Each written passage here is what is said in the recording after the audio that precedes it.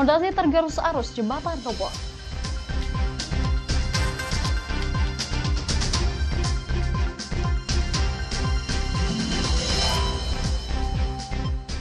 Kampanye hari pertama calon gubernur.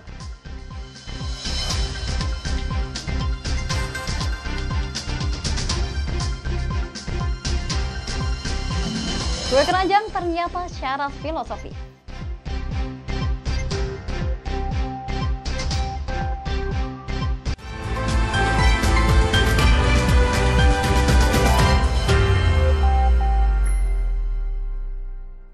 Selamat pagi saudara, Kompas Pekalongan hari ini hadir dengan beragam informasi penting dan menarik, baik dari dalam kota Pekalongan maupun sekitarnya. Selain tiga sorotan tadi, berita tentang puluhan warga korban banjir yang mendatangi lokasi pengobatan gratis di Pasir Sari, Kota Pekalongan dan sejumlah peristiwa lainnya juga akan kami sajikan dalam Kompas Pekalongan kali ini. Saya Mandisa Putri, inilah Kompas Pekalongan selengkapnya di Kompas TV, independen terpercaya.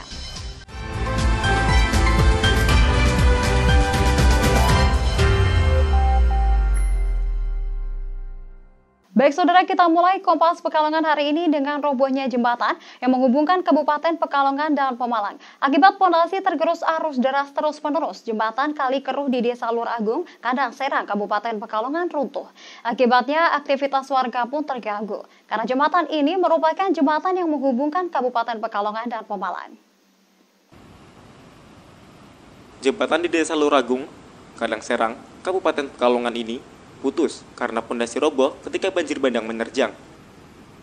Jembatan sepanjang 33 meter dengan lebar 3 meter ini merupakan akses warga pegunungan di Kabupaten Pekalongan yang akan menuju ke Pemalang dan Purbalingga.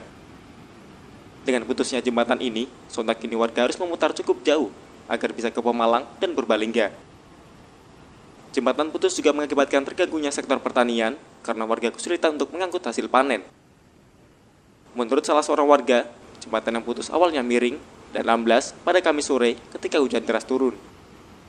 Namun karena derasnya aliran air sungai dan banjir bandang karena hujan deras, membuat kondisi jembatan bertambah parah dan kembali ambruk. Warga yang penasaran langsung memadati jembatan yang putus ini. Ya mau tidak mau harus muter ya, ya berharapnya sih secepatnya karena memang warga sini itu uh, untuk kegiatan perekonomian pasar paling dekat itu wilayah Pemalang sini atas itu hanya ditempuh jarak ya antara 10 sampai 15 menit gitu. Kalau ke pusat kajian kan pasti satu jam gitu, makanya lebih mudah ke sini. Beruntung tidak ada korban jiwa dalam peristiwa ini, karena saat kejadian tidak ada warga melintas. Warga berharap pemerintah tanggap dan segera memperbaiki jembatan yang putus ini. Arif Mawan, Kompas TV, Pekalongan. Dampak cuaca buruk masih belum usai. Di Kendal, akibat sungai meluap tak mampu menampung air hujan, air mengenangi enam kelurahan di sekitar sungai. Ketinggian air di sejumlah lokasi mencapai setengah meter hingga mengganggu aktivitas warga. Air masuk ke dalam perkampungan dan rumah warga sejak pukul 1 lebih 30 menit dini hari. Sungai Kendal ini meluap akibat air kiriman dari wilayah atas diguyur hujan deras. Genangan air paling tinggi terjadi di Kelurahan Pekauman dan Gilir, Kecamatan Kota Kendal. Di dua kelurahan ini, ketinggian air mencapai 30 hingga 50 cm. Untuk mengantisipasi masuknya air ke dalam rumah, warga memilih menutup pintu rumah rapat-rapat. Sedimentasi sungai dan banyaknya sampah yang menghambat aliran sungai, sehingga sungai meluap mengenangi rumah warga. Air juga mengenangi ruas jalan Masjid Agung Kendal dan Jalan Habib Royo, sehingga mengganggu jalannya arus lalu lintas. Tak ketinggalan pula, halaman sebuah sekolah lanjutan atas swasta dipenuhi dengan genangan air. Ya udah biasa ini terus rutin. Langganan ya? Langganan banjir. Eh, Kemarin hujan juga deras ya mas ya? Deras, lumayan. Lumayan, sampai dari jam berapa ke ja- sampai jam berapa mas? Ya kira-kira itu jam malam jam 8-an tuh. 8 sampai malam itu ya? Nah, itu harapannya warga gimana mas? Lah ini harus solusinya gimana kalau banjir ini? Untuk sungainya dangkal nih mungkin. Harus Harus dikeruk itu ya? Iya. Dari pantauan di lapangan, sedikitnya ada enam kelurahan yang terendam banjir akibat meluapnya sungai Kendal ini. Enam kelurahan tersebut yakni Kelurahan Kebon Dalem, Langen Harjo, Ngilir, Balok, Patukangan, dan Bekauman.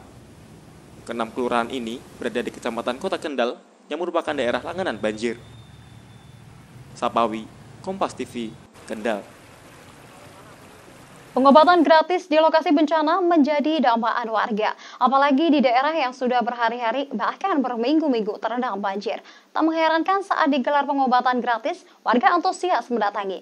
Keluhan mereka rata-rata seperti gatal-gatal, pusing, kembung, dan lain-lainnya yang diakibatkan terlalu lama terendam air. Seperti pengobatan gratis di Pasir Sari, Pekalongan ini.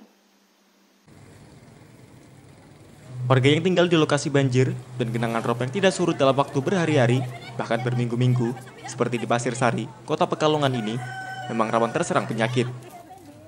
Tak mengherankan, saat dilaksanakan pengobatan gratis, mereka dengan antusias mendatanginya, walau harus berjalan kaki menembus genangan air rob.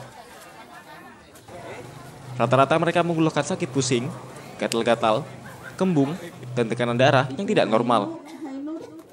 Bantuan obat-obatan terutama untuk obat gatal-gatal sangat dinantikan warga karena mereka harus berendam air kotor saat melakukan kegiatan. Berawal dari kondisi ini, BMI Kota Pekalongan tergerak untuk menggelar acara pengobatan gratis ini. Melihat antusias warga yang membutuhkan, BMI berencana kembali menggelar kegiatan ini. Acara bakti sosial, pemeriksaan, dan pengobatan gratis di Pasir Sari, Pak. Tujuannya kenapa Pak ini Pak? Kenapa digelar ini Pak Anja? Saya merasa dari BMI peduli sama masyarakat biar masyarakat itu sehat Pak. Ya. Jadi betul-betul ikhlas nggak dan siapa apa. Yang penting melihat kondisi demikian, warga nyatanya lingkungan juga demikian, maka kami selaku BMI ya teman-teman monggo untuk melaksanakan pemeriksaan dan pengobatan gratis untuk meringankan beban-beban setidaknya sedikit meringankan dari beban-beban masyarakat. Diharapkan dengan kegiatan pengobatan gratis ini bisa membantu warga yang tinggal di lokasi banjir agar tetap sehat dan tidak terserang penyakit.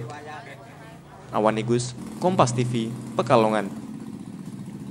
Untuk Anda yang berada di Pekalongan dan sekitarnya, kini kami hadirkan jadwal sholat selengkapnya.